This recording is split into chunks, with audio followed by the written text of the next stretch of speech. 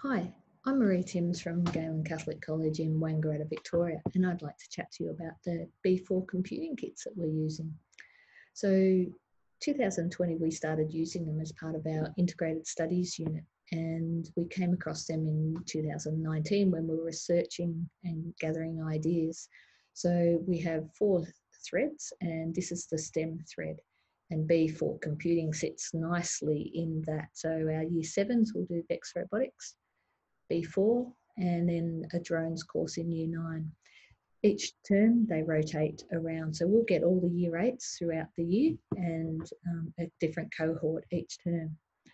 When we first got the kits, we were a little bit worried about how strong and sturdy they would be, considering they've got little wires and connections and everything, but they have held up a treat, um, especially knowing that year eights aren't the most gentlest people in the world.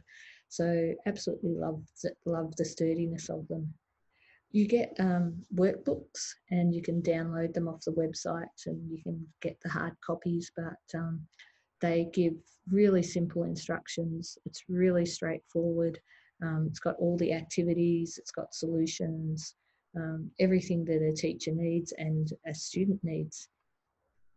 We've had a lot of engagement with our students at the end of each unit, we get them to video themselves and explain what they've learnt. And this is just a couple of our students who have chosen one of the videos here for you. Scan, go two, go three, so it's three bits.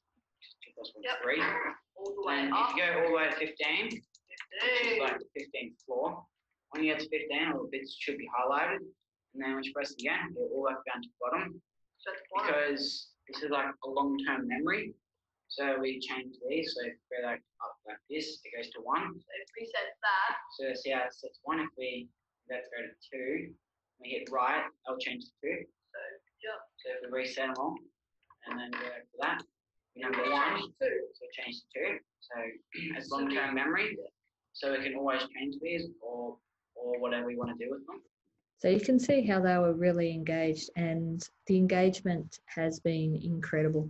Um, it really has blown us away. Even our lowest level students who really struggle with maths, um, the idea that it's lights on, lights off for the various binary numbers for the ones and zeros.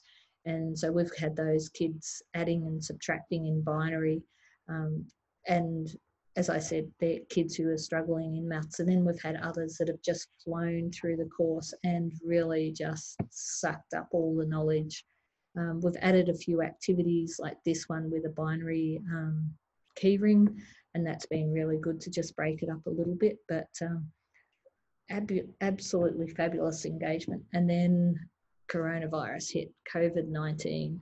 So obviously, remote learning that threw us into a bit of a spin, but um, within a few minutes of sending off this email, Carsten replied to say they've created an online version of the course. Well, we were totally gobsmacked that there was an online version and it the transition was as smooth as it could be. Um, really loved the online version, love the kits, love the online version. It's it's so good. Um, as I said, it's it this transition from one to the other um, has been a dream. Uh, every once again, it matches so nicely with the kits. Uh, so whether you've got the kits or you haven't got the kits, any one is great. Um, so in summary, the engagement and it's for all abilities. The algorithmic thinking that we saw was great. The robustness of the kits, the online version is just as good, and obviously loads of support from Carsten. He just answers your emails just like that. So really good. So everything you need is at the Digital Technologies Institute. And obviously you can email Carsten or you can email me. Carsten's obviously the guru, um, but I'm happy to answer questions as someone on the ground who um, works with the students and the engagement of them is incredible. I, yeah, so I'll be about and hopefully I'll see you at the conference. Cheers.